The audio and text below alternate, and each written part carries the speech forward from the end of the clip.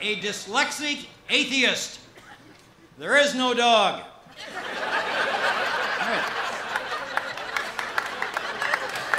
Ah, religious crowd. Good. Things that were actually published in church bulletins last year. This afternoon, there will be a meeting in the south and north ends of the church. Children will be baptized at both ends. Tuesday at 4 p.m., there will be an ice cream social. All ladies giving milk, please come early. See, we can be clean and have fun. Thursday at 5 p.m., there will be a meeting of the Little Mothers Club. All wishing to become Little Mothers will please meet with the pastor in his study. Right. This being Easter Sunday, we will ask Mrs. Brown to come forward and lay an egg on the altar. Yeah. The services today will begin with little drops of water. One of the men will start quietly, and the rest of the congregation will join in.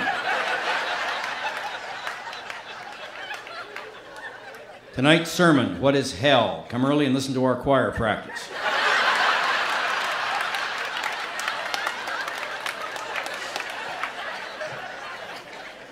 The sermon this afternoon, Jesus Walks on Water. The sermon tonight, Searching for Jesus. And this is my favorite. Weight Watchers will meet at 7 p.m. at the First Presbyterian Church. Please use the large double doors at the side entrance.